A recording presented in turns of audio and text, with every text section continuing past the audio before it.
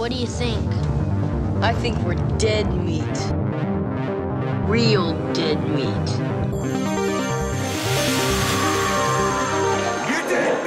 Go ahead and laugh, you guys. If I ever find a little bastards that did this, they're dead meat. Welcome to the Dead Meat Podcast, an extension of the YouTube channel Dead Meat. I'm James. I'm Chelsea and we're engaged and we like to get scared together. We are this week we're talking about I'm thinking of ending things. I realized some people saw us tweeting about that and read the tweet too fast and thought we were breaking up. Oh, I No. promise we're not breaking up. That's not the case. That's not what this is. we are discussing I'm thinking of ending things and I'll say ri- just right up front this movie is very heavy and I I kind of wanted to even just right away reveal what the entire movie ends up being about. Oh, just so you can decide either if you you know maybe you don't want it spoiled run away now. If, if you haven't seen this and don't want to know Okay, anything yeah. about it uh, just stop now. Or if you d- you are on the, the fence and you have never seen this and aren't sure if you want to listen to it or not um, i'll just you know give you a big ol' content warning in about three two one yeah this whole movie is overwhelmingly about suicide um, I mean the title. that I'm thinking of ending things, which is kind of a misdirect. Well, that's the thing is I heard the title and I was like, oh, it's gonna be about suicide, and then it's the first line of dialogue in the context of a relationship, and I was like, oh, was I bamboozled? And then in the end, no, You were not bamboozled. It was correct. Um, yeah, it's it's about more than that, but it's very sad, really existential. It is a Charlie Kaufman script, and the I mean the book itself was existential too. And I read the book over the weekend. Um, and it, it's really difficult, but I I spent a few days thinking about it. I ended up I I loved the movie. I really liked the book. I wasn't hundred percent on how I felt about it, but in combination with the movie, I loved it. And I found that my my takeaway from it's actually been very life affirming, which is weird because it's very sad. It's a very sad ending to a sad movie, but I I'm very curious. yeah, so that'll be the last few minutes as I have a take on it. And it also kind of involves like just Charlie Kaufman's kind of voice in general and what he like the, the threads in his work, I think. Anyway, I, I really like Charlie Kaufman too, so that has this going for it. But all right, well, I'll stop rambling. I, I, I- I'll warn you, this whole episode is going to be rambling because that's what this movie is. This It's movie be- is we're we can't we okay we can't talk about this uh in a linear fashion it just it just isn't gonna happen. It, this is gonna be all over the map. I think if you haven't seen this this episode will be like inaccessible. You're not gonna Oh yeah, you're not gonna fuck understand what the hell about. we're saying, and also it's not a horror movie. yeah okay that that can be part of our discussion and i actually am thinking next week. Yeah okay i'll just say next week. I kind of want to have a broader discussion about the fuzziness of horror. What is Oh, okay. horror and what's not. I might even set up a poll online. I might put some like commonly like horror adjacent or eh, people argue and have people vote and we'll talk about what the results were and Oh, we can give our own yeah so let's let's do that next week. Okay, that'll be fun because yeah, this one I would say pretty firmly, in my opinion, not horror. It is unsettling. Yeah. and there are spooky moments. Uh, by the fucking ice cream plays, that, that got real spooky Mm-hmm. to me. But I don't think it's horror at all, no which is I, fine. i don't think it is loosey goosey. either and that doesn't mean that i i didn't enjoy i i really did you hated it this will We'll- be another we'll talk this will be it. another one where we're split which doesn't happen too often but we i will say after this move the the credits roll James goes, I can hear him just exhale, and he goes, Oh my God, thank fuck that's over. I'm so, I was dying. I was waiting for that to end. And meanwhile, I had gotten up three times already to go to the bathroom to get tissues to wipe my nose with. I'd been sobbing the entire last half of this fucking movie. Well, okay. Here's my thing. I need to be honest to how I felt watching this movie, and that honest appraisal is that this was one of the least enjoyable movie watching experiences I can remember in recent times. I was miserable. The first hour or so, I was just uh, uh, distressed. It's a very anxiety inducing movie. And I was willing to see what was going on. But then an hour in, I just wanted it to be over, and it wasn't over for another hour and 15 minutes. It's a two hour, 15 it's minute really long, long movie. movie, It's a long one. I felt uh, like I wanted to just tear my hair out for the last 40 minutes at least. And when it ended, indeed, I was like, finally.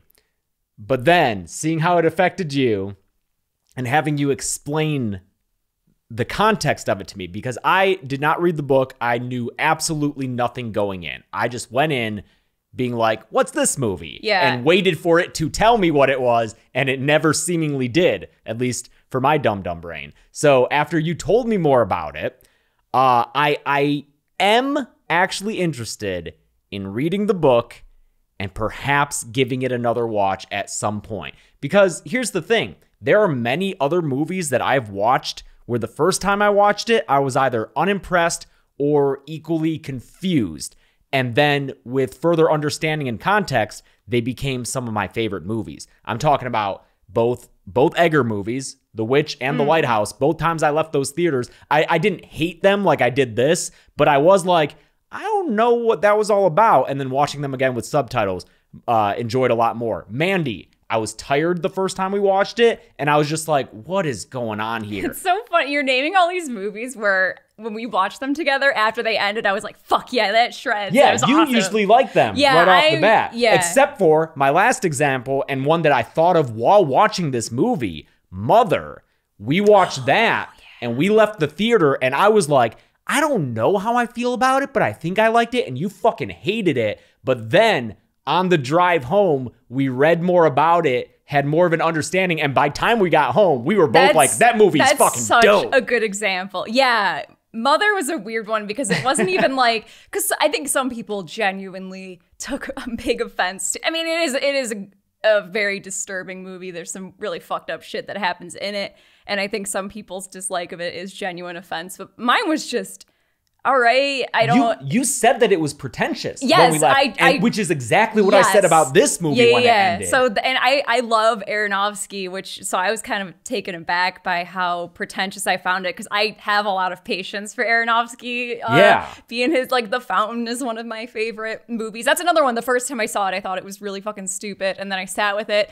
Watched it again years later, and it just moved me so deeply. Uh, and yeah, but same thing. It's like after I sat with it and thought about it, I realized, oh, this is like once you start peeling back why you think it's pretentious. So I am perfectly fine saying that my first time watching this movie, I despised the experience, but that I am willing to change my mind based on uh, having more context and understanding of what I watched because I think that watching this without any context will put you at a disadvantage. Uh, I saw plenty of people on Twitter say that they still enjoyed it, even though they didn't read the book or know anything. Yeah, I'm trying to think if I. It's it's hard to say because I, I genuinely during the movie was trying to think, okay, how would I?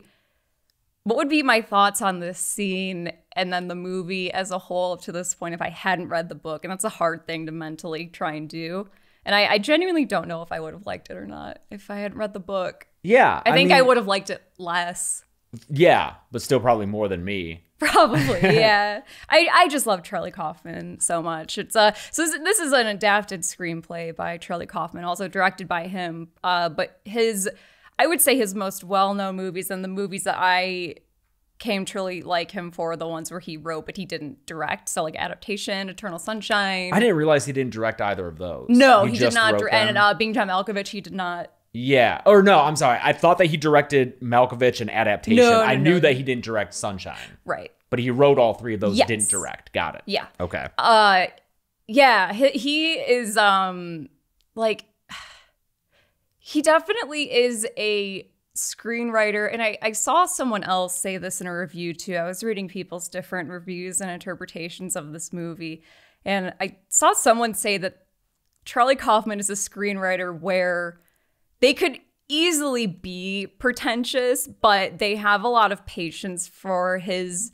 pretension because it genuinely seems sincere. I whenever he is at his most pretentious, I buy it as as sincere and meaningful. I don't think he does stuff just to do stuff. I think there's genuine meaning in every little thing that he puts down on the page, which can be frustrating if you maybe don't give him the benefit of that doubt. I feel like the things that you're saying apply in a less substantive way and a more aesthetic way to Wes Yes, Anderson. Yes, I was just gonna say Wes Anderson. because yeah. he, he- yeah. that style can seem very prote- but I think that's just who Wes Anderson is. Yeah. I think that's him being his sincere self. Yes, even yeah. though it can come off as That's how I feel about Kaufman too.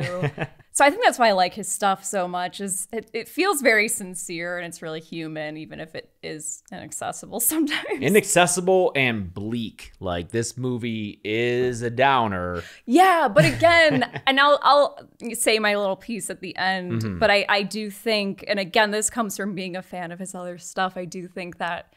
When I take into consideration him as a writer, I think ultimately there's something really really uplift like not up, i would say like yeah like affirming in the ending and life affirming and almost optimistic if you choose to read it a certain way I'm uh, like I said, I'm very curious. yeah so let's let's get into it Yeah, and uh, uh, did we mention that it, he wrote the screenplay based on the 2016 Yes, novel by yeah, yeah. Iain Reid? yeah which i did the audiobook of and really enjoyed it You said it's real short, right? it's yeah the audiobook itself is about five hours long so i did it over the weekend short book. and it's definitely more of a horror than the movie. In fact, I was actually really surprised when the movie was not nearly as scary as the book Yeah. is.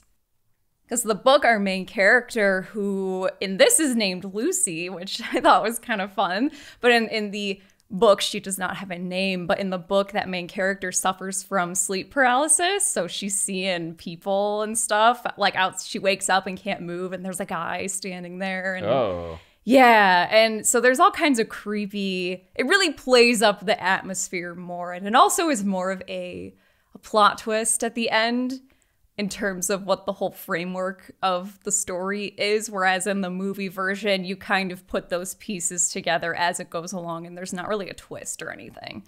Yeah, you're talking about the revelation that the janitor who we check in on sporadically throughout the film. You're saying that that doesn't happen in the novel, the checking in on the janitor. No, what it is is is in the in the book it's uh you get scenes with Jake and the young woman is kind of her I would say we'll call her. Uh well, that's what the subtitles. that that's true. It does call her the young woman. Yeah, so it's those two. It's from the POV of the young woman, so it's in first person from her perspective. Jake is this guy she's been dating for like a month, and so it cuts between chapters of them talking. I think most of the book is like them driving to his parents' house and then stuff at the house. But between those chapters, you cut to these two characters we don't learn their names. It's just dialogue, so you kind of have to put together what the fuck is going on. But it's pretty like they're either police officers or something where they're inspecting the aftermath of the story and they're like, how like the fuck did this happen? And if you're so the whole thing, you're like, is, is he gonna murder her? Like, I what's see. going on? Because it clearly ends with something gruesome. Someone's gonna die by the end.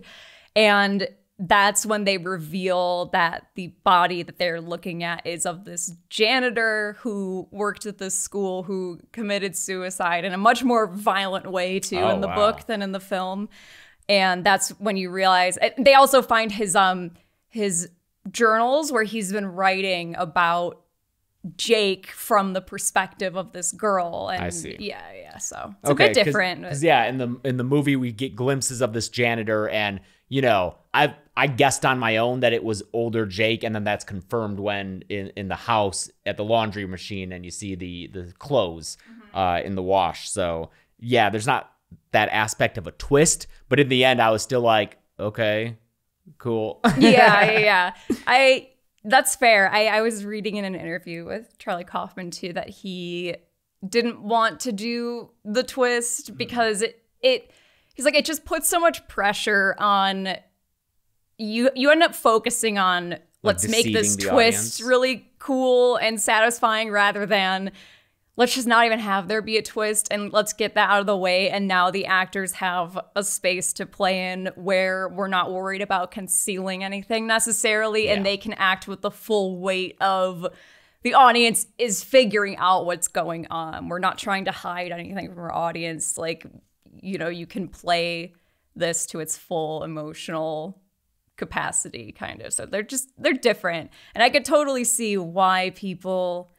Because yeah, again, like we said, I we both don't think this is a horror movie, but this has been requested so many. I've gotten so many emails about this thing. My sister actually asked me when we're gonna cover it, like when it came out. I was like, oh, I didn't realize it was a horror movie.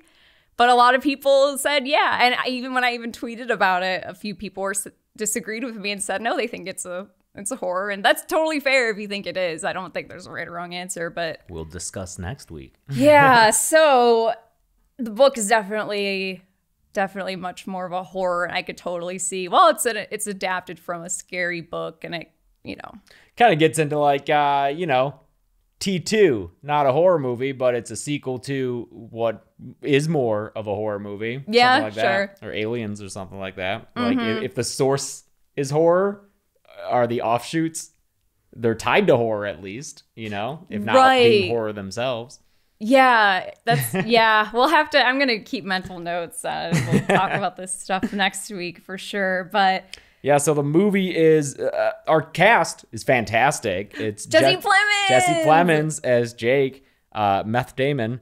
Back when Oh, man. back when he was less known for be for his own talents and just more like hey that guy kind of looks like matt damon. Well wouldn't he have done shit i'm trying to remember what all he's done. Was he in a season oh friday of night lights was Yeah, I guess. he was married to Kir- Kirsten Dunst in Fargo, remember? And then now they're like together real life. but that was post break they're together in real life yeah. Wait, let me let me let me see if they still are because I love them together. Oh, that's fantastic. Yeah, no, he was in Fargo and fantastic. Yes, they are presently engaged. Uh, I think they have a little baby too, which I bet is the cutest baby. Aw. But yeah, he was Todd in Breaking Bad. Oh my god, look that. at their baby. Look at he's got a little baseball hat on. he just always has that cap on. He's born with it. yeah, he's a fantastic off, uh, actor. And then Jessie Buckley is the young woman.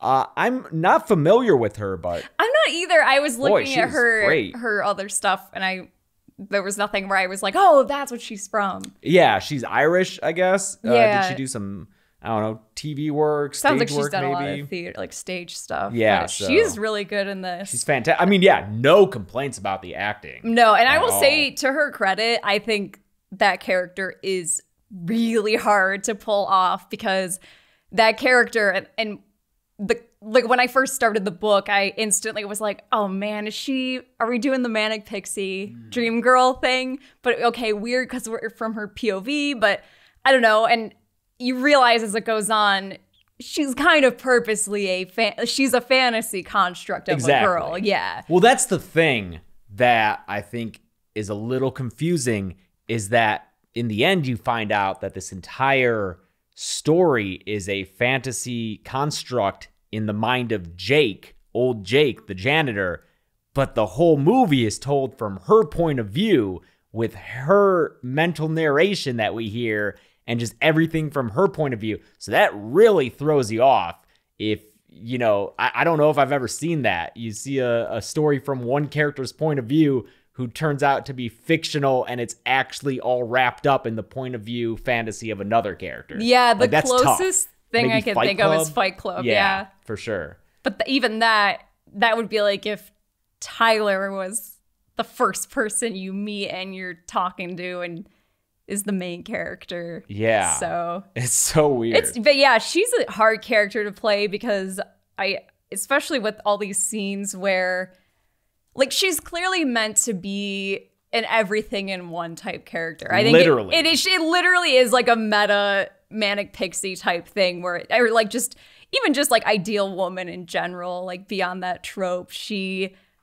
Throughout the movie, she has said she's she majored in different things, and she's an artist, a physicist, a physicist, a poet, uh, yeah, poet, film psychologist, critic. yeah, yeah. she's she's Pauline Kael. Like she's all these different things, which I mean, maybe that's, a, but you know, it just seems like it changes. And they even changed how they met at one point. It's like, so and everything is. who who serves what role in the relationship? Because at one point he seems like the movie guy, but then Right. later he's like, "Well, you're the master of all things cinema." Yeah, so the lines start to get weird because one of them will say something, and then later it, you realize it doesn't make a ton of sense for that person to have been the authoritative voice on that topic. At one point, she is saying something and tells him, look it up.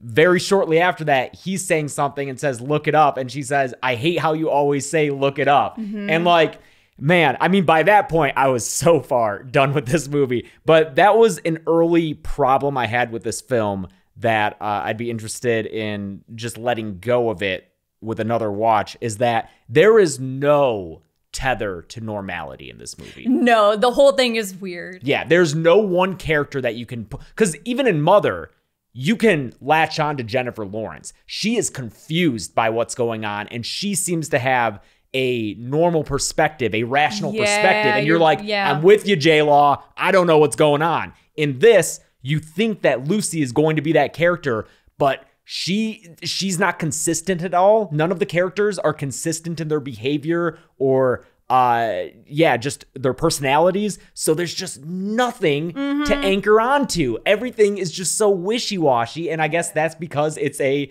uh the fantasy of a person dying of hypothermia. Yeah, that's the thing is I think if you rewatch it and like, you know, since I had read it, I had the context that this is all one person. Yeah. So there is a consistency because it is just all the same voice of this one guy. And once you start looking at each character of either different aspects of their personality or just you know how like you imagine conversations to yourself in your head you're rewriting stuff as you go along and, and coming up with different versions of how something you know it's all just non-tangential and weird and that's kind of what this movie feels like but mm-hmm. not having that context it's like oh my god there's nothing i can grab onto here yeah i Yeah. totally get it Hey, want to talk to you about our sponsor this week, Keeps. Hair loss prevention, prescription medication delivered right to you. Yes, it gets delivered right to you, and you don't even have to go to the doctor's office to get it prescribed. You can get treated right from home, which, especially right now,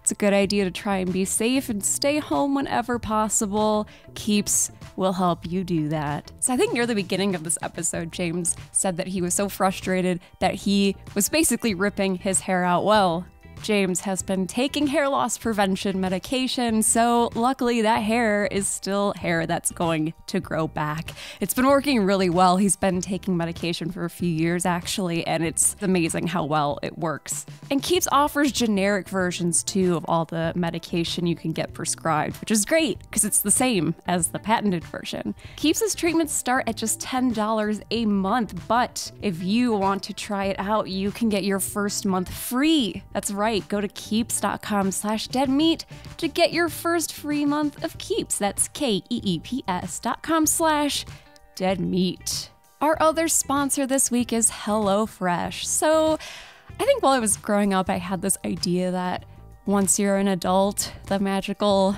just age of being an adult, you somehow get it all together and you just magically know how to keep up a house and cook and have a job and do everything you're supposed to. That's not real. I've been 30 for a little bit and I it's impossible to just have everything done by yourself. And that's why James and I get HelloFresh. We actually just added some more meals to our delivery service. That wasn't even part of our ad deal with them. We just added more because it's so convenient. We don't have to plan dinner. We don't have to spend time agonizing over what sounds good to both of us because the meals they send are so great that you you don't have to think about it and I'm always excited to eat whatever is on the schedule for the night. And now they have easy eats which they have even quicker recipes. There's oven ready stuff and 10 to 20 minute meals. The normal ones are about 30 minutes which still isn't a ton of time but 10 to 20 that's pretty fast. So if you want to try HelloFresh you can go to hellofresh.com slash 10 deadmeat and use the code 10 deadmeat for 10 free meals including free shipping. And one more time that is hellofresh.com slash 10 deadmeat Use the code 10DEADMEAT for 10 free meals, including free shipping. HelloFresh.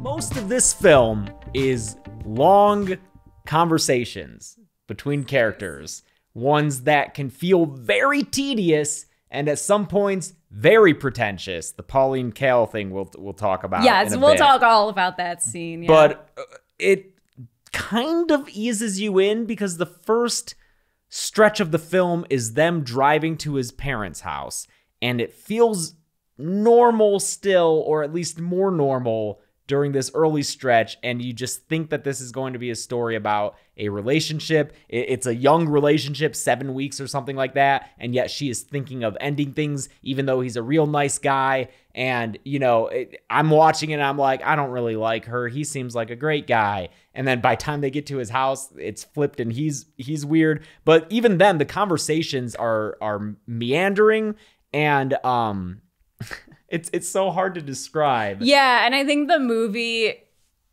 like, if you didn't already feel uncomfortable or think something weird was going on, I think when she starts reciting the poem, which in that moment she says it's her poem, it's one she's been working on, but it's the poem Bone Dog, which is a poem that exists. So that's an actual poem. Yes. That's the other thing is this movie relies on uh, art and poems and Pauline Kael film criticisms. And I, I mean, I kind of learned about Kael in college, but that's about it. Those other things I have no basis of knowledge of. So maybe if you were aware that that is a pre-existing poem, that might clue you in earlier. Although later on at the house, she's in his room and starts to read from a book of poems, and it's the poem that attributed was to hers. the actual author. And yeah. similarly, she finds paintings that she had shown as her own, but are pre existing works by actual real life artists. And at that point, it's like, oh, what's going on here? Right, yeah. And when she's doing the poem, she's staring directly into the camera, yeah.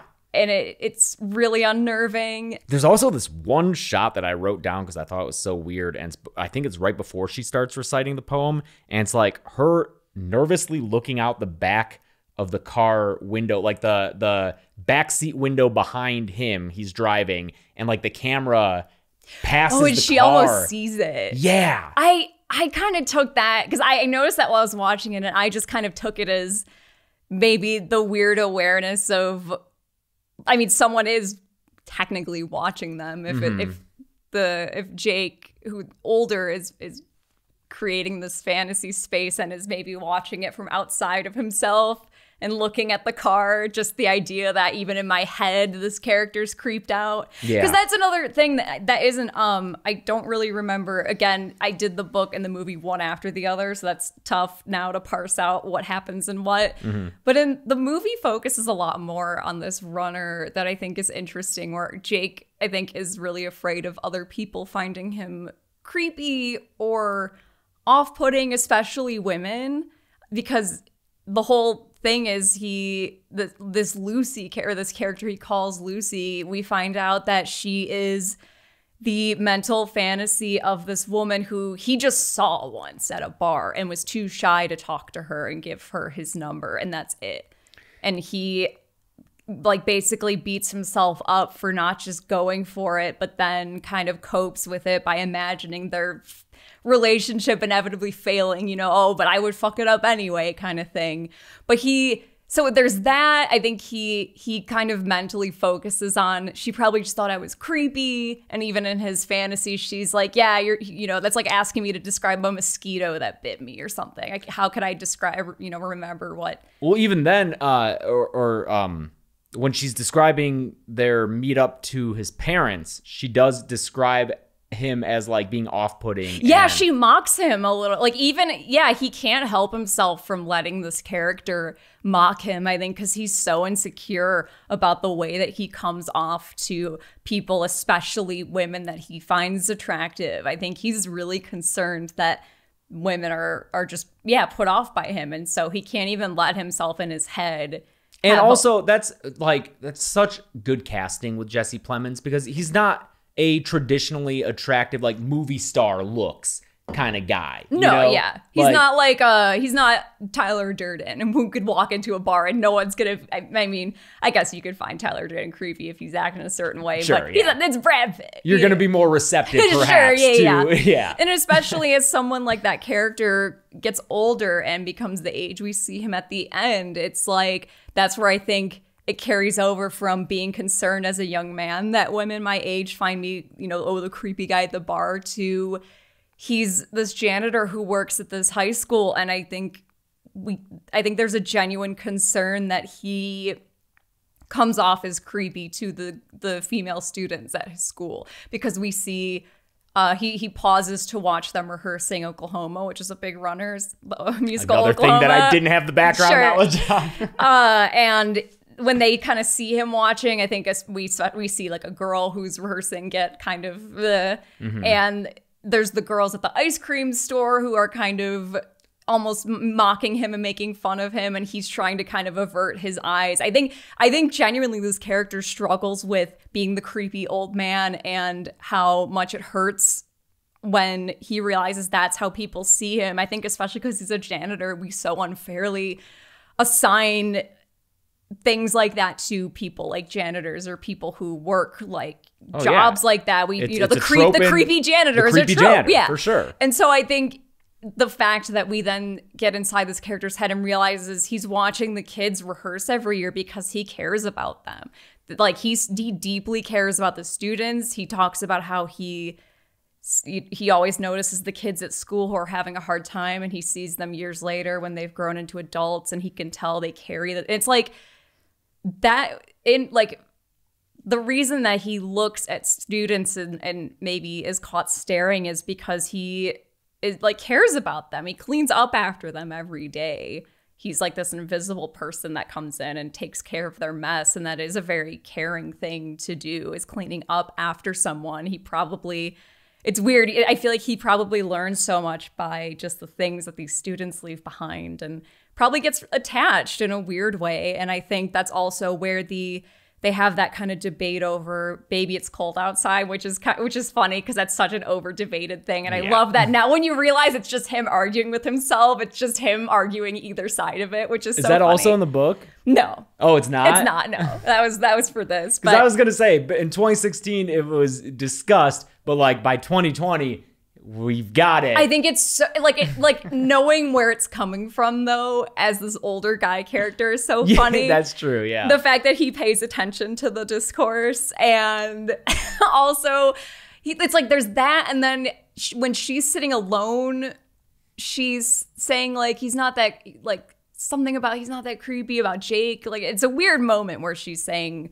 kind of like like reaffirming to herself that Jake is nice and not a weirdo kind of it's I it kind of like went by so fast and I'm just scribbling notes furiously that I maybe missed exactly what she said. And then the third thing is when when they're about to start kissing in the car, Jake thinks he notices someone watching them and he's like, "Oh, I I know that look. I know what that means. There's someone watching and that's creepy." And you know, I I think that's almost him in the present or at least to me it represents Jake mentally beating himself up for maybe staring or getting caught staring and maybe, you know, like at her in the bar, perhaps. yeah, Or just any or, other occasion. or even like you know getting caught staring at a student even if it's not intentioned like that knowing that that's what the student thinks and beating himself up for doing that in the first place Mm-hmm. i think he carries a lot of guilt with him in terms of how he makes women feel and how much that hurts when he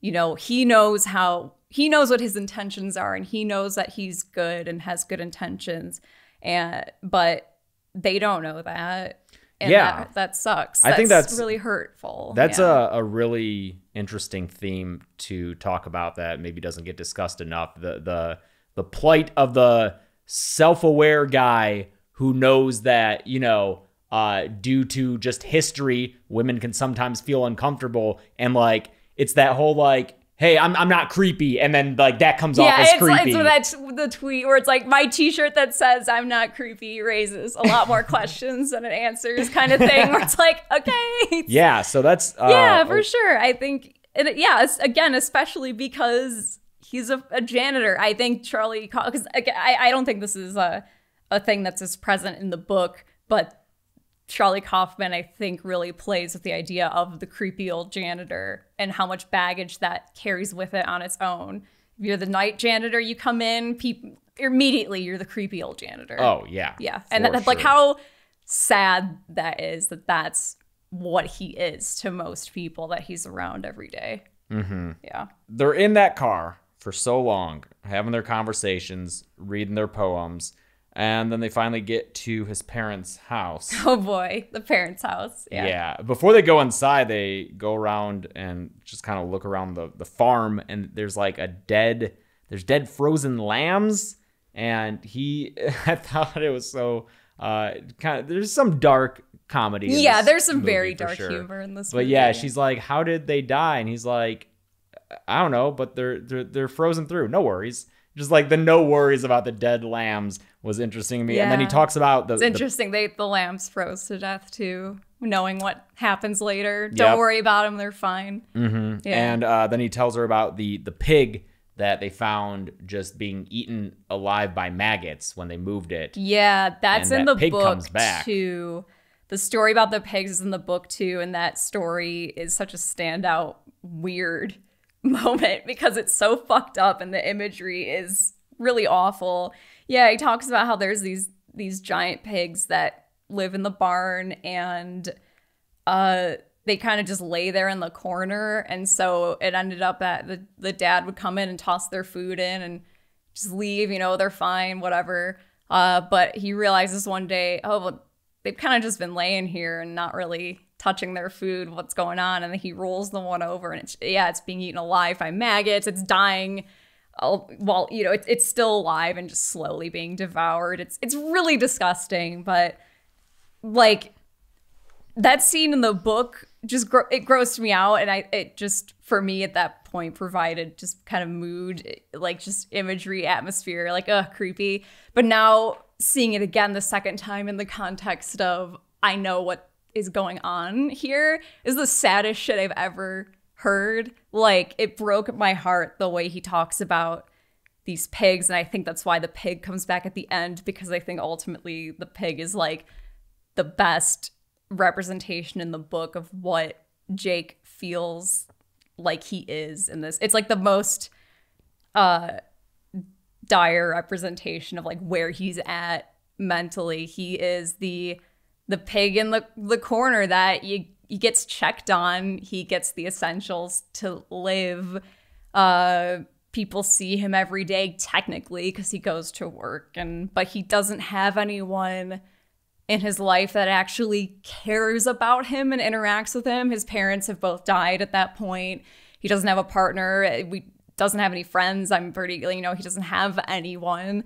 So he really is the he's the pig in the barn who it just exists and you know, well, he's alive. He's shown up to work, checked in on him, great, but nothing besides that. There's no emotional care. There's no interaction. There's and he's being slowly devoured from the inside out and because everyone's just kind of you know grazing by him and just check you know they're you know and not doing any further investigation they have no one has any idea that he's going through that until they find him dead. exactly until they roll him over and he's being you know so it's like I, like the second time i realized what the story of the pigs was supposed to be and it just uh, it just broke my heart yeah. I, I, if, if you have the patience for it, I'd recommend this a second time because it really is heartbreaking. Sure, yeah. I I mean very curious to. Yeah. to reappraise It's a it. lot of movie to watch again.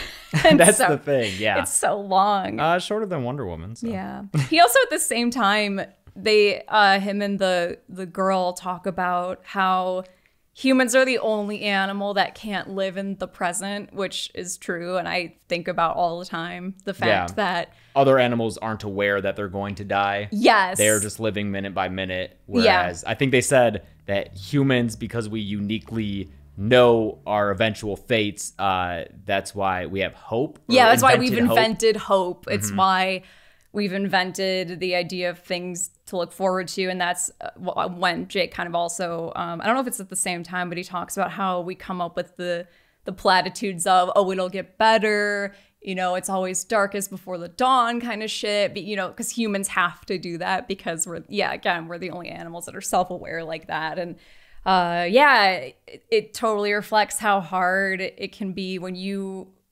truly feel you're like at rock bottom and there is nothing to look forward to especially for this character like him. I think he's very purposely an old man where it's like i'm an old man. I have no one it- like i the the the empty platitude of oh it's it's gonna get better someday Doesn't apply. you're gonna tell me no like that it's not like it's not. I'm pa- you know i'm old i'm past my like there's no there's nothing. And that's like the bleak it's it's so bleak and Yeah. it's it's again really rough. It's why i wanted to, to warn you up ahead before we dove into this episode. But um yeah it also i i thought of this quote by uh um weirdly Derren Brown who i as a, a magic artist. I don't even I don't even know if he likes to be called magician, but he's a he's a Magic mentalist who Yeah.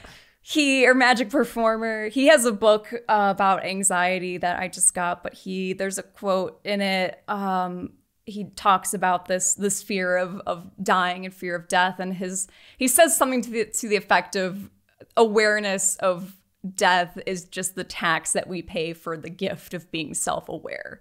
It's like it sucks, but that's the price we pay to be able to be human, and it's it's just an unfortunate part. It's it's the trade off, you know. It's that's just how it is, and And uh, yeah, and the actor himself, Guy Boyd, No, he's so good. he's so good, and he is a 77 year old man. And, I you just know, you just want to give him a big hug. Yeah, those thoughts are definitely going to be on your mind. Yeah, absolutely. They finally meet his parents after they kind of take this tour of the the barn and they go inside and I love the set decoration of the house. I like so that we get to see the layout of it a lot. There's some uh you have a good understanding of it and then later there is a tracking shot that kind of goes throughout the rooms and it just makes it feel more real, real lived in. Yeah, this this house feels worn in, which I really appreciate, especially because I think you can tell this house where they filmed. I mean, if they found a house that looks like this, that's cool, but I think that they did put up some wallpaper and make it look pretty it's kitschy. It's like everything in it's old and like almost too old. Actually, in the book, the main character, um, because it, it takes place now. She has a cell phone with her. She has a cell phone in the movie too. But I think in the book, she more often points out like everything here feels almost too old, which it would be if if he is imagining himself young now dating a girl who like they both have cell phones and shit but he's also imagining okay well we're going back to meet my parents like i would have gone to meet my parents 30 years ago. yeah so his ago, parents would be their house would be old as fuck looking Mm-hmm. you know yeah i think that's such a nice touch and a nice consideration i think could have been really easy to overlook but even all the wallpaper is kind of ripped up looking and if they did put it up themselves they wore it down when it looks really really cool i, I just get very excited about thoughtful set dressing it's easy to decorate a place harder to take the time to think about the characters' lives and how it would affect the things you put in that room. Yeah. Like one of my biggest set decorating pet peeves is cars or even technology like but but cars I always notice this if you do a movie that's set in like a specific year so if I make a movie set in 1995 all Don't the cars outside cars. no yeah exactly people are going to have cars from the late 80s Yeah. mid 80s it's going to be varied anyway The parents are played by Toni Collette Mm-hmm. of Hereditary fame and, you know, lots of other things, obviously. And David Thewlis, fucking Lupin. Yeah, he's. I mean, he's in lots of other Also in things. lots of other I things. I love David. David Thewlis is so good in this. I think he's been Thewlis. he's been in other Charlie Kaufman stuff. I don't know if Toni Collette has. I'm blanking. Um, but They're both so good. God, they're good. Again, more anxiety. They're just like anxiety fastballs thrown into this movie. Toni Collette, especially, just as this like manic, really manic. Yeah. laughing and giggling to herself and just like just shaking with energy. God. but like it's all obviously a fragile front to her own insecurities or internal problems that are going on it is It's a lot. Dude, they all go to sit down for dinner, and we're Oh, just man. like, oh no, buckle up. Toni Collette's at the dinner table. Shit's gonna get fucked up. Yeah, seriously. Uh, this is one of the most uncomfortable. This is probably the most uncomfortable scene in this movie. It's this fucking dinner scene. Because it there's so much going on here, and there's a lot to unpack. they got a dog, oh yeah, Jimmy, Jimmy. but you only see it just shaking nonstop. I wasn't sure what to make of the dog. There's a few things I'm not sure what to make of. That, I mean, I guess because the dog is long dead, maybe he just has a few memories of it. One of It might literally is just be he has memories of it from when he was a kid and can't remember Yeah. a ton about it. Because even there's there's even a shot where she's like, "Where is Jimmy? Oh, there he is!" And she like goes to pet the dog, and then it's the uh, a camera like facing her as she crouches down to pet, and you never see the dog during that interaction. Mm-hmm. Uh, he just like runs away before you even see it. So yeah, it's like he doesn't have the proper um, comprehensive picture of this dog to fill in at all stages. The also the, the other thing that I don't get is her phone. She hmm. keeps getting phone calls from Lucy or other names that she is referred to throughout. And then when she answers it, it's the voice of a guy who we see in the very beginning that was of the, the, movie. janitor. Oh, that's the janitor, Yes. like in an apartment in, in Yes. his apartment. Yes, Okay, that's him.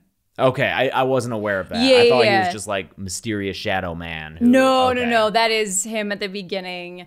Uh, cause yeah, that is his apartment. Um, and yeah, it's him kind of calling her and talking to her through Okay, Yeah, it that is like a big. That's one of the first things you learn about in the book is he's he's just called the caller, and he's more of a.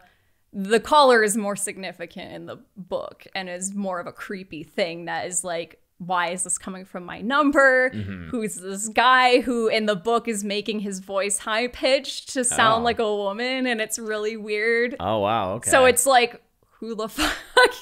so it less that's less of a uh, thing in this movie. It's more of like a creepy detail. I was kind of surprised at how little he did with the the caller, Hmm. but yeah, uh, I think that's also why he had to give Lucy her name because so that it would show up on yeah, the phone. because the Lucy, creepy yeah. thing is in the book is oh my god, this is coming from my phone number. But how do you communicate that that visually? that's her phone number, Yeah, yeah, without her saying that line. So Yeah. yeah, Uh, he, he calls her Lucy, and then she gets a call, and it's from Lucy. Right. They uh so they talk a bit about at the dinner table, they talk a bit about what Lucy does. This is when Lucy says she's a painter and she's showing photos of her paintings and their landscapes and uh, we find out Jake used to paint, and that's when David Thewlis says a very funny line, but I'm realizing a really poignant line, especially when you essentially I think unknowingly said a version of this at the beginning, which I thought was so cool and confirmed to me that this is exactly what's going on here with this dialogue. Is David Thewlis says, "Well, oh, so you you paint like." You know, landscapes and stuff, and she says, "Yeah, but I they're supposed to be kind of evocative, and they're meant to invoke feeling." And he's like, "Well, how how how is a field sad? How am I supposed to know that a picture of a field is sad if there's not a sad person in it? And it's which is a very good question. Yeah, David Thewlis does not like abstract art. No, he does not. But he, yeah, he asks, well, "How do I know this this field is sad if there's not a sad person in it?" And I love that. I had the thought that this is kind of, I think, almost what the movie is. Like, how do I even know it to feel if I don't have a character to like tell me what is going on or what is sad about this or what like the when you were talking about how am I supposed to know what is real in this or not if I don't have a main character there? How am I supposed to know the field is sad if I don't have a sad person? You you you need a main character to tell you how to feel, right? Because um, uh, if you don't, you're how you felt watching this. You feel kind of anchorless, and it's like I don't know what I'm supposed to be feeling right now.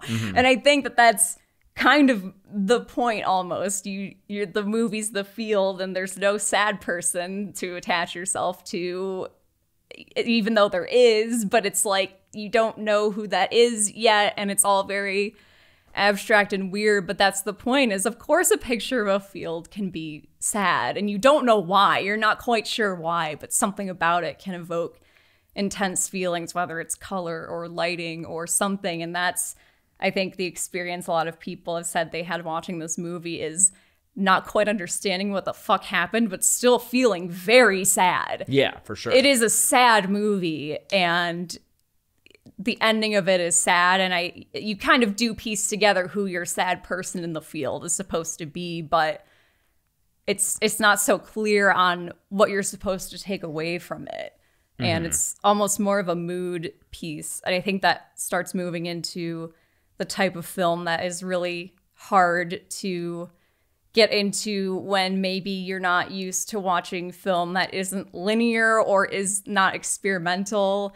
Because there is a whole you know school of film where the idea is like it doesn't really matter what the story of it is it's, trying just how it makes you feel. Yeah. right. Yeah and i think that's kind of what this is although there is very much a story here but that almost doesn't matter it's more incidental than Yeah. yeah. The, the it's not the purpose anyway. yeah but I mean- yeah oh god this this whole uh, scene is, I think, perhaps the saddest because Yeah. she starts jumping through time pretty much and seeing the parents at various ages, including very old at the end of their lives. Uh, the father with dementia, unable to remember things. They've labeled everything on the door, and just like yeah, seeing those characters jump around from uh, you know, middle-aged housewife cleaning up after a young child to on her deathbed. It's just so yeah, it's it's heart-wrenching. Yeah, and I think a lot of that is just Jake going through his different like the different uh ages that he's been with his parents or lived with his parents. I get the sense that he lived with them until he was pretty old, I think, because I, I think he it moved out after they both died and that's why he's in that apartment we see earlier. But i think he did live with them for a very long time and um he i think almost is jumping through the, their ages because he's trying to kind of mentally place what like the vulnerability of having a partner with you for that kind of stuff. Like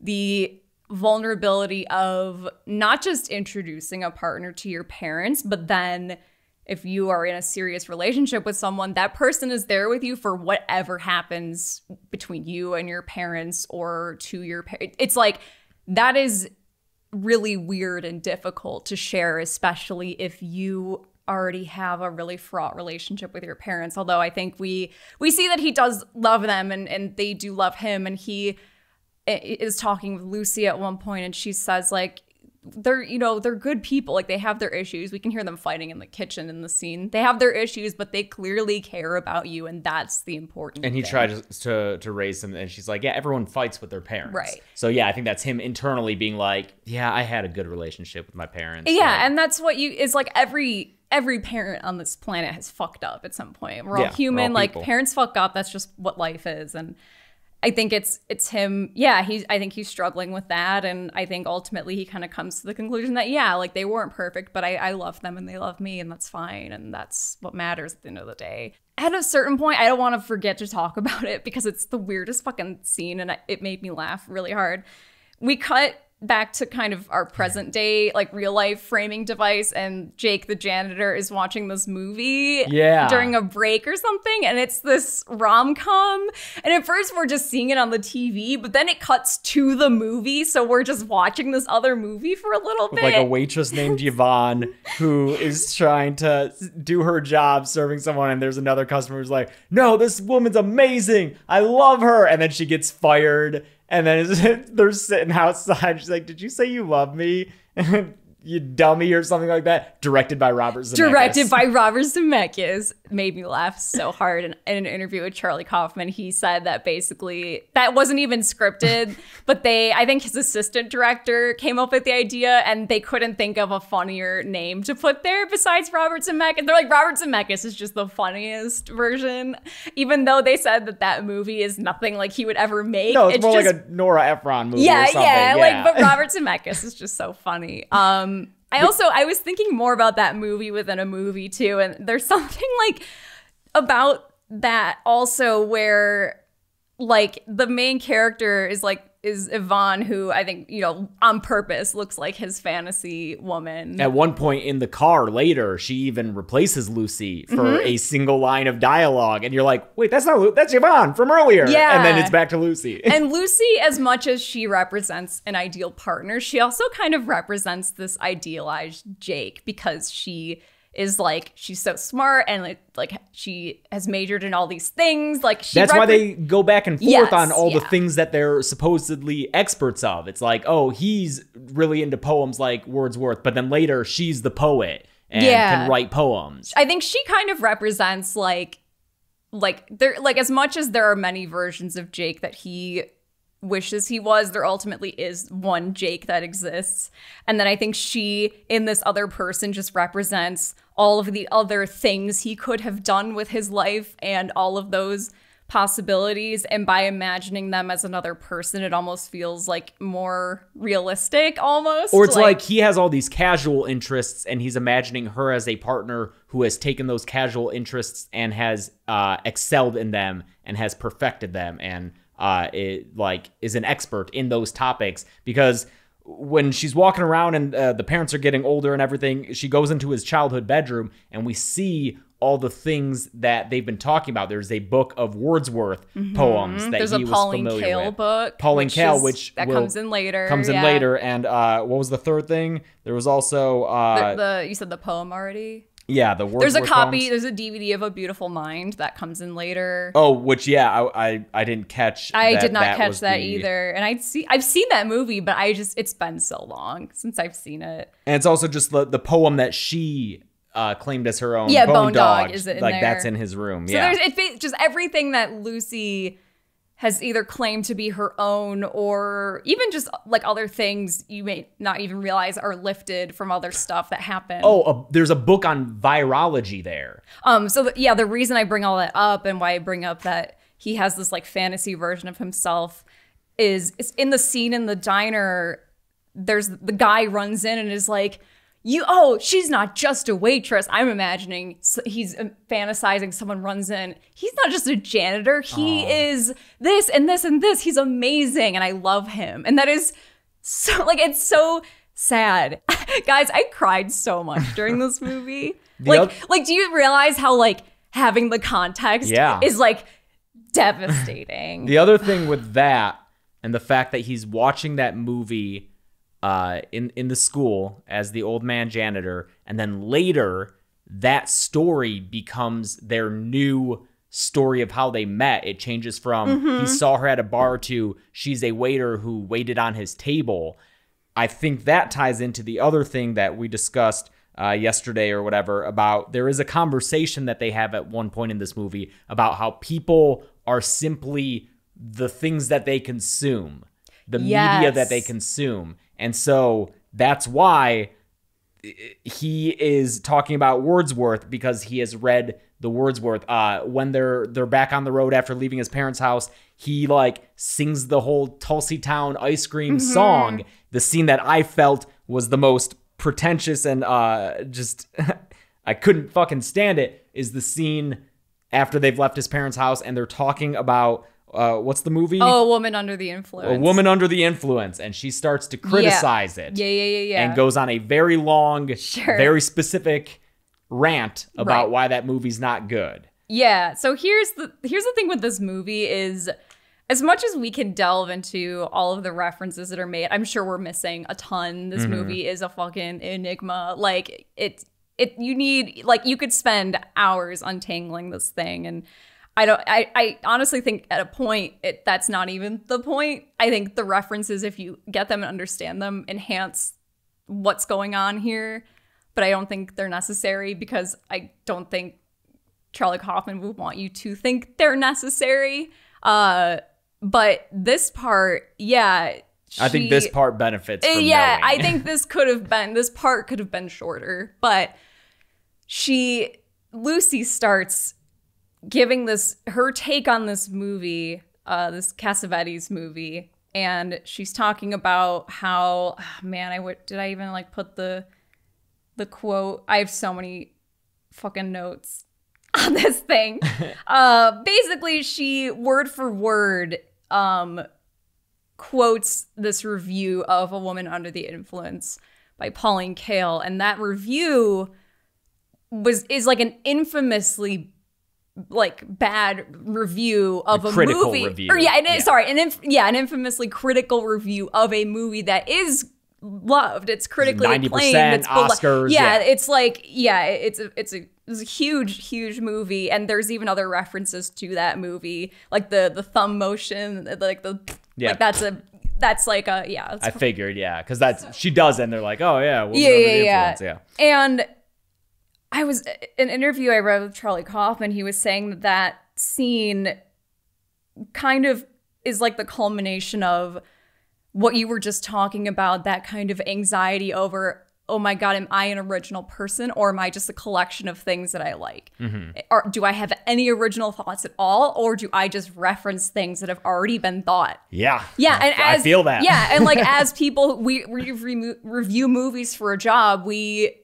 don't tell original stories. Like that's Mm-hmm. not what we do. That is an anxiety we both have, and we have Yeah. discussed this a lot. And that's I think an anxiety a lot of you know analysts and theorists have review because it's like you. you don't feel like you're actively creating anything. You don't like. Do I have an original thought when Am all I I'm making anything Yes, of when all I am thinking about are the things other people have already done. Yeah. And so this Charlie Kaufman said that this review, when he saw Woman Under the Influence, he loved it. And he also loved Pauline Kael and, and grew up reading her reviews and really respected her. And he he read her review of that movie, which is terror. It's like she hates it. And he said that that was such a like an important, weird feeling of like just second guessing your opinions on stuff and second guessing how you felt watching something, like your experience consuming something, like Which is my experience with this movie. right is it's just like you the anxiety of like oh am i wrong for having felt a certain way watching something am i emotionally weird for not being Or am I dumb for or am I stu- yes, or am I it? Yep. stupid for not? He even says, yeah, I think he's he's like that's a big part of it is feeling stupid when someone you respect has a vastly different opinion than you on something, and that's like a weird, vulnerable thing Mm-hmm. to go through and decide. Oh, just kidding. Do I actually also hate this thing, or do you stick with your gut and you think that this person you respect and maybe would have otherwise like cribbed some opinions from or been influenced by do you decide no they're i think they're wrong it's that's tough it's Yeah. a, um so i think that that scene serves a definite purpose and it uh, also is like meta on another level because a woman under the influence is partially about like the it's like a singular person base you know basically mentally deteriorating and the movie kind of deals with like the the unjust world and like what even is crazy relative to the you know the world around a person. And it the anxiety of reuniting with family because the family reunion is a big part of that movie that goes horribly wrong and the weirdness of that. And so like yeah on another meta level that mm-hmm. movie deals with a lot of the same things that we're dealing with here. Man there's like again this movie is like it's too much. There's too much to talk about. Also, I didn't realize that the actresses playing the workers at Tulsey Town play students at the high school. Yes, So I believe yeah. the two laughing at him are the two in the I think the first scene we get with the janitor. He's walking down the halls Yep, and there's girls and they're- the- they're yeah, like, laughing at him, yeah. And then is the third one who who talks to Lucy Moore? Is she the one in Oklahoma? he Or- i don't know if she's in oklahoma but he definitely sees her when jake in the car uh as like jesse plemons is talking about yeah i see some kids at the school i can tell through their, that they're going through. Oh, and then and that's, why at Tulsey that's why Town, she's, like, i like you you're nice and I i, wish you wouldn't do this. You Yeah. don't have to go. And you don't know what if you ha- don't know what she's talking about you're like go where? What the fuck? Mm-hmm. meanwhile i'm sitting behind you sobbing into our cat because the student that he cares about and i think on some level knows that he's watching out for her is the one who is pleading like you don't like you're kind and that should be enough Yeah. it's so Yeah. sad Uh, so you know they've left the parents' house. They've stopped at Tulsey Town to get their their burrs, their ice creams, Mm-hmm. and uh, then it starts to melt, which is a very for me that was like a horrific image. The melting ice cream. Ew, I know, getting all sticky. Yeah, it was awful. So he says, "Oh, I can pull off to my old high school," and so we're going back to the high school, which now, with all this context, feels as significant as Doctor Sleep going back to the fucking Overlook. To me now, and this whole about it. scene too this this kind of final drive back to the high school there are shots of jesse plemons where the window keeps getting more and more obscured it's like frosted over and shit Mm-hmm. and i'm not sure at what point in Oh. the story that he is sitting in his car freezing to death but i think that's what's Mm-hmm. Probably going close, on yeah. it's either literal or it's like you know, him getting further and further to the point of no return, right? Where like mentally there's no coming back from it. Yeah, Jesse Plemons' side of the car just gets all f- fogged up and kind of weird looking. Yeah, they share a kiss, uh, which we mentioned before, the one time that they actually kiss in this Mm-hmm. film. And then he goes into the school looking for the person who he said was uh, watching them. Uh, eventually, she goes into the school to look for him. On her way in, she sees a dumpster full of burrs. Mm-hmm. Any insight on that? Um, my initial take, I think I even wrote down that I think the uh well, one, I think him being like, oh, I don't know, should we go dump the shakes somewhere? Should we not? Uh, I think that's the the debate over do I, you know, end it or uh yeah, the ones in the dumpster. I think either um to me signifies the like him being a creature of habit. Yeah, that's what I was I just have. I just have this mental image of like he goes and gets one of those every day, Every on day, the way and he throws it in the and so that's his mental image of like, yep, I do the same fucking shit every day, throw Mm-hmm. this thing in the but I saw someone else online interpret it as this is how many times he has fantasized about this routine. Oh, yeah. And and like how many times he's thought about actually doing this. Yeah. And considering it but hasn't and done it gets it. that far. And yes. Which is, it's near the end now. Mm-hmm. And maybe just stop. so I think that's either I like that read on it too. Yeah. Yeah. She goes inside and actually talks to old Jake, the janitor, looking for young Jake. Oh god, this is when I was weeping. James. Because like she hides from him too at first, like she's afraid of him, just Mm-hmm. which feeds into you know that image problem that he has of how people perceive him. They see him as the creepy old janitor that they might need to hide from at first, but he's just a nice guy who offers her his slippers again. Yeah, the Jake slippers. Because Mm-hmm. yeah, Jake offers his slippers earlier. Also, I think I noticed I I couldn't tell. I think when the cars parked outside, is that an Eternal Sunshine reference? That overhead shot, they, on it the goes ice. back to the it goes shot. back to it a couple times, Yeah. but I wasn't I hundred would probably say yes. Uh, sure. he Um, she asks if he has seen her boyfriend around, and he asks uh, old janitor Jake asks her what he looks like, and she says it's hard to describe people. And boy, that I felt that because I have always thought like if if I was ever a witness to a crime and ever had to like help a police, I wouldn't be able to help them at all. Be like, what's he look like? I don't know. He's got eyes and a nose and a mouth. I don't understand how police sketches work, and it baffles me. Yeah, yeah. You'd be the worst. I mean, like, would would you even have to go into witness protection? I don't know, because you can't. Like, you genuinely didn't see anything. yeah, right. Just like, no, no, no, you don't need to worry about me. uh, but yeah. So she says, "Well, actually, Jake and I are my. We've never actually even talked, and this is when we learned that mm. Lucy." What if, if at this point maybe you're thinking was she like a past girlfriend? What like what's going on here? This is when we learn she was never she she wasn't a past girlfriend at all. She literally is just this girl that when Jake was young, he saw in a bar once and did nothing happened. He just kept he was looking at her and he must have realized he creeped her out and that's it. That's the only interaction they had. yeah. And that's when she says like I don't know how so like that would be like asking me to describe a mosquito that bit me once. Like I don't, you know, Yeah. and that's when I think it's like she that dialogue feels so out of character for her at that point and I think it's almost just like mentally Jake can't help but let that character talk to him like that because he just is feeling so shitty. Because It's him being previously, like, no, that this this is just a fantasy. Yeah, because previously Lucy is like a very validating character. Like she, even if she disagrees with him, she's never like cruel to him. Like they, especially when they're, uh, yeah, like that scene with his parents. She's like, no, no, no, like you, you, you know, your parents love you, and when he's like feeding his mom when she's really old, she's she like, you care about them, and that's really, you know, it's remarkable Yeah. because she is talking about and especially she has some conversation before that about how society discards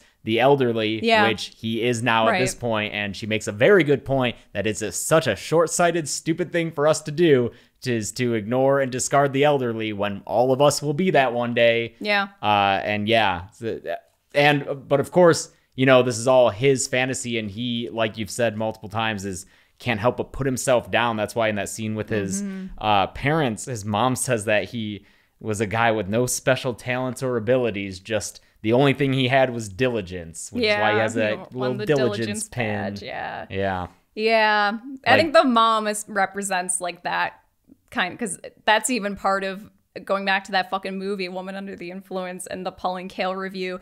In that review, Pauline Kael talks about how tempting it is to blame everything that's wrong with you on your parents, and um, that Oh, yeah. that role often gets assigned to the mother, and that Lucy says something to that effect too. That is like internal we, criticism. and how to, and that I think the mother is purposely putting him down in that scene because it's you know It's it is his. tempting to you know oh everything that I fucked up and everything that went wrong with my life well it wasn't my fault it was because like my mom raised me this way and she made me feel bad about myself and fucked up Mm-hmm. But yeah, I, th- I think it's so sad that he, through his mom, says that the only thing that he's ever been good at is diligence, literally just living. Yeah. Just like because now he's an old man and he's thinking back like, oh, I never did anything good. I mean, except if- for get old. if you're that in that deep and you truly think there's nothing for you what what is the only thing you have done except I made it I'm alive right now. Mm-hmm. great. That's my accomplishment is I've lived to be this age. Yeah. yeah.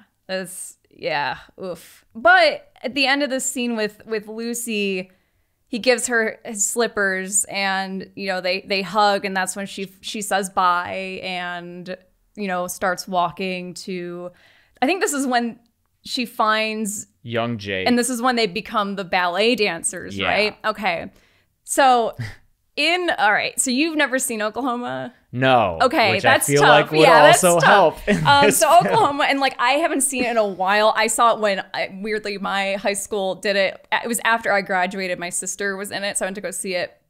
Like I've listened to the soundtrack and stuff as a kid. It's like Rodgers and Hammerstein. I don't love it. I don't love Oklahoma. It's fine. Um, I do like the version with Hugh Jackman. If you want to watch a version, he plays Curly, and it's really good. Um, but in that musical, it's it's kind of like a love triangle thing. You have, I think, is is it Laurey is the girl? I think it's Laurey, Curly, and and Jud. Man, let me make sure I get those names right before the musical theater. People will come yell at descend me. upon you They do. their sure. shivs, and you'll have to pull out red Laurey, ribbons. Laurey, Curly, and Jud, and basically, I think the end of Act One.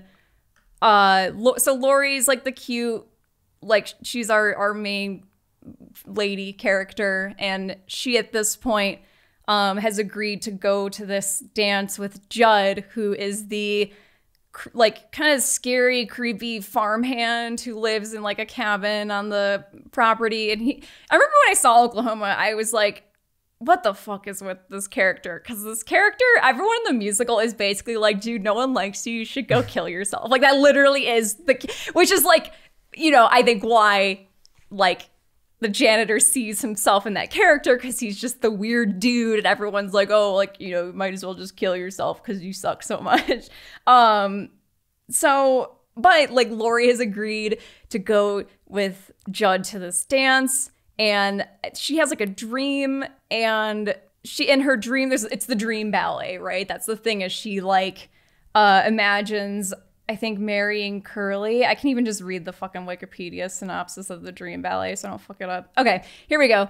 Um, she takes opiates because it's the Good start. 1800s, Good dude. start. What else are we doing in Oklahoma Sure. on the prairie? I would do so many drugs if I lived in the 1800s. It'd be so boring. Uh, Uh, so okay, she she first dreams of marriage with Curly, and that's young Jake in this. This is Jake like he's handsome. He's this handsome ballet dancer. He's got the plaid shirt on, and it's clearly supposed to be like young Jake, where his whole life is ahead of him. There's like all these, you know, open options waiting for him. They have like a little wedding. Her dream takes a nightmarish turn when Jud appears. That's the janitor. Janitor Jake appears hmm. and kills Curly. She can't escape him, confused by her desires. Awakening, she realizes that Curly is the right man for her, but it's too late to change her mind about going to the dance with Jud, who arrives and they leave for the box social, which is like the dance. So I think it's it's like we see that happen too. It's like the janitor Jake and the young Jake get in a fight, and Young janitor Jake, young janitor Jake, which is a new one. yeah, they get in a fight and he stabs him. And it's it's snowing. Like the ballet part of this is very cool. Yeah. It's- oh, yeah. The dance. it's I mean, by this point, I was fucking just so anxious for the movie to end, but I could even stop and appreciate this is a cool dance. It was. It's so cool. You guys know good. all know how I feel about interpretive dance in a movie. it's like this, uh, Us, Annihilation. Please, more Oh, interpretive yeah. dance finales, please. Thank yeah, you. yeah, for sure. So I think it's kind of like, I think it's two things. One, it's, I think him, like, fearing that anyone who ever loved him, if he fell in love at a young age, ultimately he would pr- probably still just become this janitor, and whoever he ended up with would realize, oh no, I'm stuck with this monstrous jan- this cr- weird you know this this dead end guy and it's too late. You know they've killed the young there's no like the guy i thought i was with who had so much ahead of him this is what he's become and mm-hmm. the anxiety of like you know if he ever did have a partner which is something clearly he wished he had but i think he gets in his own head and thinks like well it would have ended anyway which is why i think the whole thing of the movie is he, he it's Lucy saying I'm thinking of ending things. It's him re- like reasoning out that well it all it all would have ended anyway because who would want to be with me, mm-hmm. right? Um even if they met me at like my prime I'm, I'm just gonna be me and that's gonna be you know it's what's the thing about where it's like the the the joy of being loved and like the terror of being known or something like that or it's like there you know it's you want to be loved but being known is terrifying but it, like being having a partner around for all of your worst shit and getting to know the real you is terrifying and vulnerable and it makes you you know it's easy to second guess like why someone is even you know like you can get in your your own head so easily about that. Yeah. i think that's you know what this is. And i also just think it's him realizing like because it's it's Laurey realizing like well it's too late. I have to go to the dance with Jud. I almost think it's jake realizing like no the real me the one that i i at my core know who i am is this Jake, like I'm Jake. I'm the I'm a man who is many things, and I, you know, I'm full of possibilities and interests. But I, I'm not just a janitor. But it's too like he's already maybe been in the car for how many hours, or he's already made the decision he's going to stick to it. It's literally it's too late. He is going with the janitor. He's he's going in that you know he he already decided I'm going to the dance with Jud, I'm I'm going to end it. I am the janitor. I this is who I am and who I've decided this is what defines me and yeah, there's like no turning back, Yeah. I think is what I took from that. Yeah. And that's why I was crying this whole time. Well, yeah, because after that scene is when the janitor like finishes up his shift and goes out and sits in his car and doesn't start it. Yeah. sits in it and uh, yeah, at the very end through the credits, you see that in fact his car is covered in snow in that parking lot. So he did just stay in there and He uh, froze freeze to, death. Yeah, But- you even Lucy at one point when Jake leaves to go throw out the shakes and he doesn't come back for a bit. She's like, she's like, "Fuck, it's freezing in here. How long would it take to die of hypothermia?" Yep. you So know, he's wondering like that's thought. how he could, uh how he could go. Yeah, uh, in in his mind at least, we see him strip his clothes, which is a symptom of hypothermia. Yeah, hyp- what- it's like the last stage of hypothermia. Your some signals get crossed. I'm not exactly sure how it works, but your body, for some reason, thinks you're overheating. So often people have been discovered having Mm-hmm. frozen to death, where Yeah, they're naked. naked. And ori- I think originally people, before we knew that is what happens to you, people assumed it was it. People had been like sexually assaulted. So there's a lot of like Oh. miss, um, like like crime or not crimes where it's just scenes of someone who's frozen to death, but they're like mistaken for a crime scene Mm. when really it's just no, our brain goes weird and we we take off all our clothes when we're dying of hypothermia. It's very bizarre. But yeah, but he does that, and then in his mind follows an animated pig, the pig from the farm, Mm-hmm. uh, who we have discussed earlier. He kind of a metaphor for himself. yeah, the pig even says, um, shit, I don't have the quote, but the pig is basically like, "You're me, I'm you." Yeah. something to that. Which is effect. also a quote, uh, similar quote to Lucy earlier. She's talking about like, where do I stop and he starts, Mm-hmm. which is an earlier clue as to like what's really going on. Yeah. But he follows this this pig through the school. The pig uh, masking is is nudity. yeah, yeah. uh, and eventually, what he just walks down the hall, and then we we get to that last scene where Jesse Plemons is in old man makeup Yes, oh my an God. award. Yeah, it's the end where Jesse Plemons is on stage and Everyone in the audience, they're they're all in this like yeah, his almost like kabuki. Yeah, it's like it's just stage. It's old age stage makeup, like Yeah. really fakey looking. Because yeah, Lucy's there, his parents are there, The kids from the are- yeah, it's like every character from the movies there, and he is doing this this the scene at the end of it's uh not it's a beautiful mind, just a beautiful a mind, beautiful line. uh, where yeah, I forget what the exact context is. It's been like a hot minute since I've seen it, and again, that's the, that movie is like the curse of being the smartest man alive, and that's discussed in the book. Actually, there's a whole conversation about the the curse of what being the smartest man in the world would be, and if it's even possible to be the smartest man in the world, because what even is smart?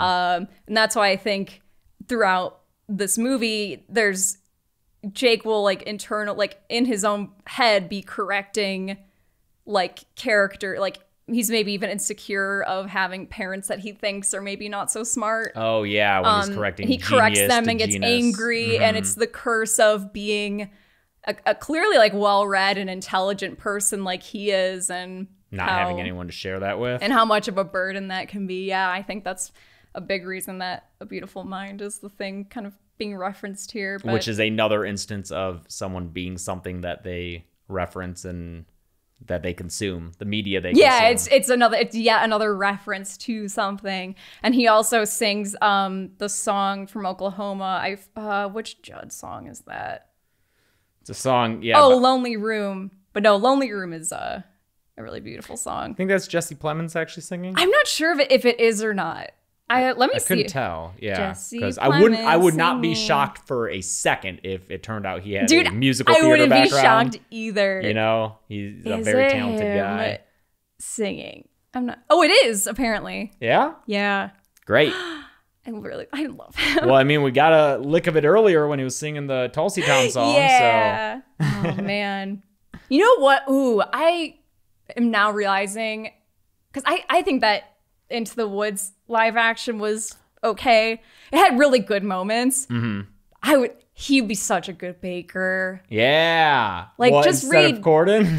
Just redo it and put him in there instead of Corden, and then have him do the song with the dad, which is like one of the best parts of Into the Woods, and it's not in the movie. Anyway, um, yeah, so he sings the the Lonely Room song because that is kind of yeah, it's like the janitor. You know, Jud lives in this little shack by himself. He must identify with Jud a lot. It's really sad. yeah. Jud's a weird character. He's a very weird villain. Well, you know, I guess watching Oklahoma will be more homework for me before I do a rewatch of this movie. Just to I'll watch it with. I'll watch the Hugh. Jackman one with you.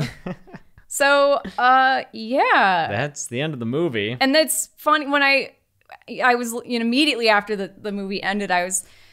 I just looked online at other people's reactions when I when I looked at this movie on Twitter. A lot of people said I cried at this, and I have no idea why. and I think that goes back to what we were talking about. Just like, how do I know this is sad if I'm not sure if it like what mm-hmm. did I watch? Lots of people, like so many different theories and, and takes on this too. Some people uh, I think someone who responded to me on Twitter thought that this was like an allegory for that it really truly was from the woman's POV and he was like an abusive boyfriend or something. I just I feel like there's a lot of if if like you have a take on this, there's plenty of things you could make into evidence and because there's it's like such a cipher, you know. Yeah. Um.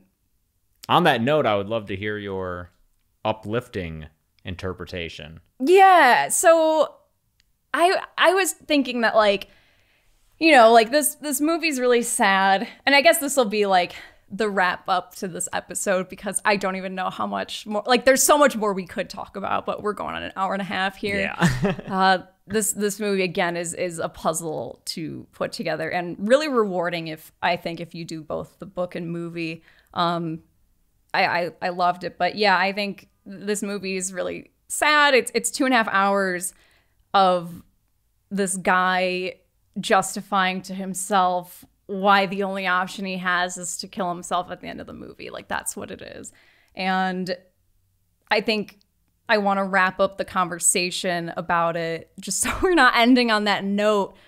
Um yeah, why I ultimately think that there is like an uplifting affirming message hidden in here and it, I think it's because I when I think of who wrote it, Charlie Kaufman, I immediately thought of another movie he he did, and we still need to watch this together. So I won't spoil it for you. I won't give you too much context here, but um, I I love the movie adaptation. I that movie just like shattered me when I first saw it. I thought it was just so stunning, and there is a scene in that that really moved me where so so in that movie, and this is not a spoiler. This is the setup of the movie. Charlie Kaufman is himself, played by Nicolas Cage. Char- Nicolas Cage plays Charlie Kaufman, who is writing the film adaptation of a book by Susan Orlean.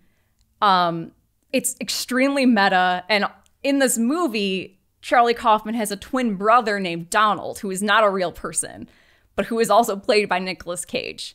Um, and who basically is this fictional extension of Charlie, if that sounds familiar at mm-hmm. all.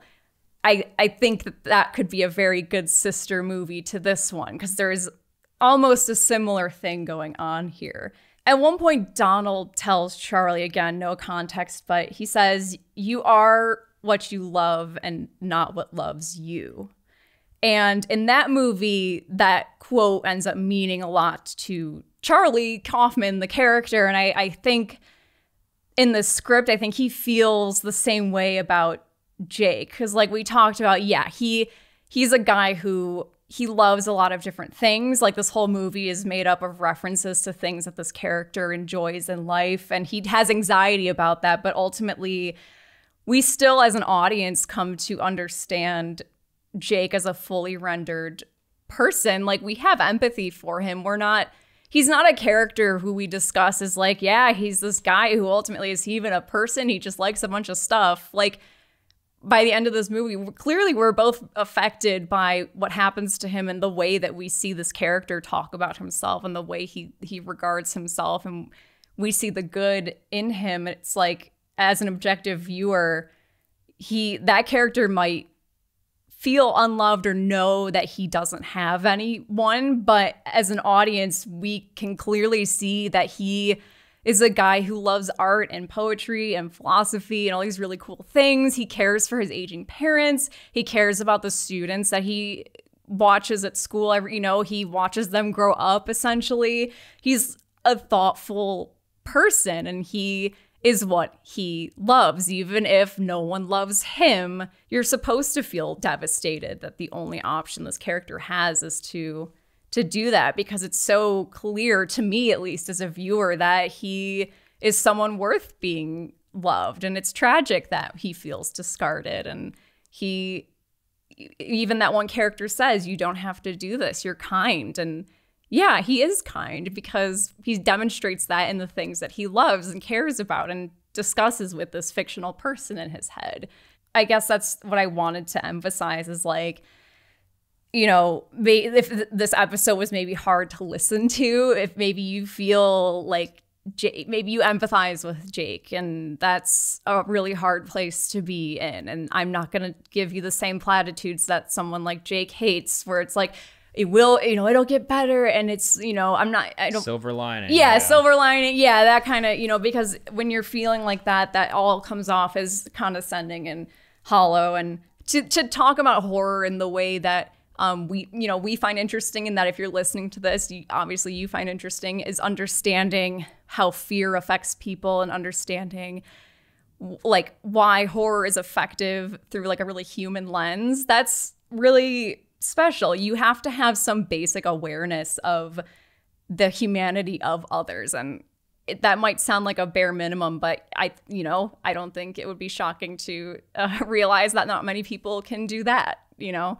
is the desire have that desire and curiosity about what's going on in someone else's head and understanding especially like what scares people because that's so deeply human and deeply primal and we come at it on our show from an angle that's really you know i would say sympathetic and uh human and you know I, so i think bare minimum the fact that you know you're a fan of of horror and you're a fan of it in that way and you enjoy analyzing it like that that should tell you a lot about you. I don't know you listening to this probably but i i don't know. I would you agree with that?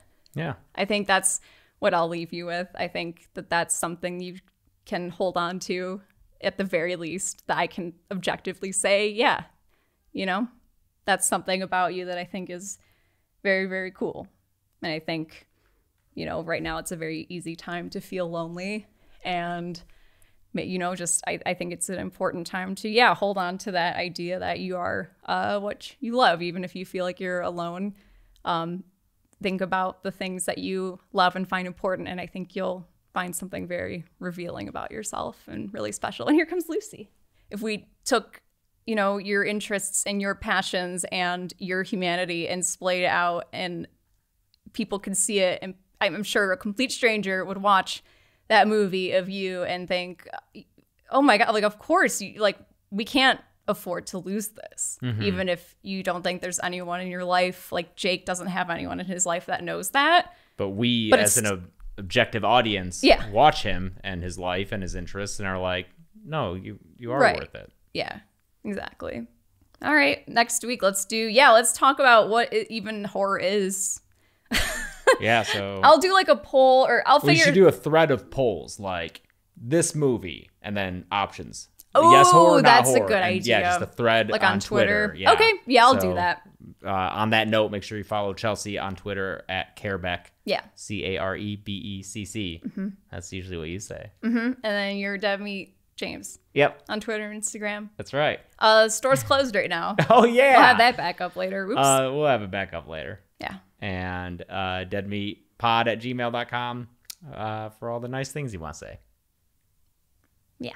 So we'll be back next week. Yeah. And hope that you found this podcast as insightful as I did. How do you how do you how you feel? I think you were brilliant. Oh. I think you I think you sold this movie in such an effective way that after having what I described as the single worst movie watching experience of recent memory, I want to watch it again. Oh my god. Okay. So Damn. no, I think that you uh, are wonderful. Oh, thank you. Yeah. And, uh, your humanity and, and love for this depiction of humanity is infectious. And I love you. Mm, thank you. so I'm blushing. Bye bye. I'm ending the podcast. Bye.